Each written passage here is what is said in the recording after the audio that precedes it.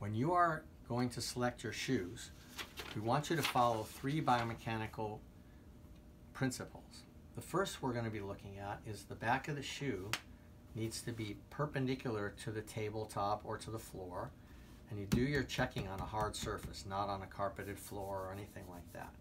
So we want the heel to be straight so it doesn't direct your heel to go in the wrong direction. An example of a bad shoe would be here where the heel is crooked compared to the floor. That heel should be approximately here and now it's here. Now that is either as a result of wear and tear of the shoe or it was manufactured poorly. The second principle we look for is that the shoe should bend at the toes only. That would be at that area there. We don't want the shoe to bend in the middle because that promotes collapse of your arch. And if the sole is too stiff, that could cause problems with your hips and your knees.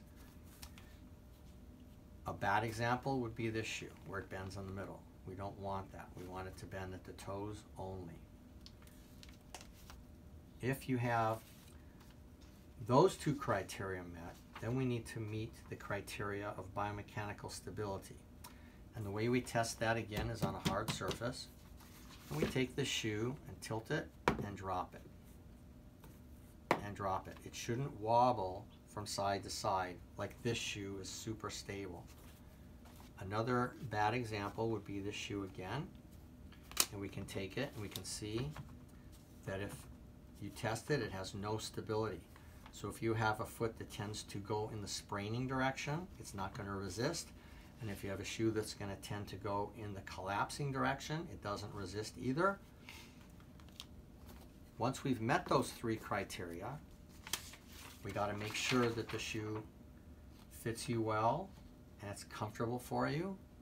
And if you have orthotics, that you fit it with orthotics at the time of buying the shoes. And that the style and type of shoe also work for whatever you're going to be using those shoes.